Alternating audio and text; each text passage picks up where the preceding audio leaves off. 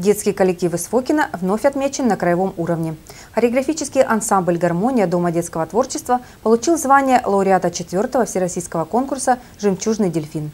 Руководитель детского коллектива Надежда Лагунова считает такой успех заслуженной наградой.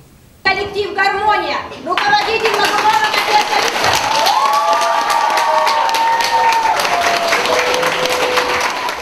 К овациям и восторженному приему зрителей ученицам хореографа Надежды Лугуновой не привыкать. Танцевальный коллектив «Гармония» – неоднократный лауреат и дипломант престижных краевых конкурсов. Тем не менее, каждый очередной успех – это признание их таланта. Успешным оказалось последнее участие коллектива во всероссийском конкурсе детского и юношеского эстрадного творчества «Жемчужный дельфин», где воспитанники Фокинского дома детского творчества выступали в нескольких номинациях.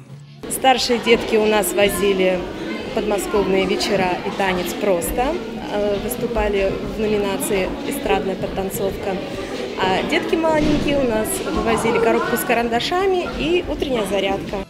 Всероссийский фестиваль, который проходил в этом году в Приморской столице, собрал более 400 участников из разных городов Дальнего Востока. В числе конкурсантов учащиеся детских музыкальных и хореографических школ региона в возрасте от 6 до 35 лет. Несмотря на серьезную конкуренцию, фокинский коллектив оказался на высоте. Танцевальный номер «Коробка с карандашами», представленный младшей группой, понравилось и членам жюри, и зрителям. Зрелищная композиция вошла в программу заключительного гала-концерта.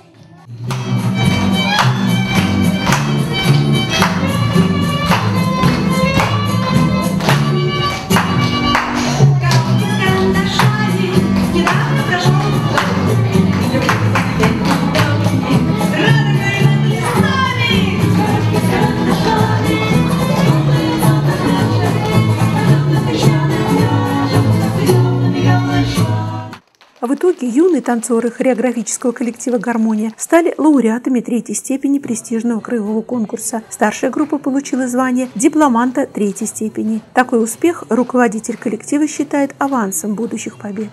Остались довольны выступлением своих детей? Да, очень довольны. Но у нас высокий потенциал, мы дальше, дальше, дальше, выше, выше. Что планируете? Пока секрет.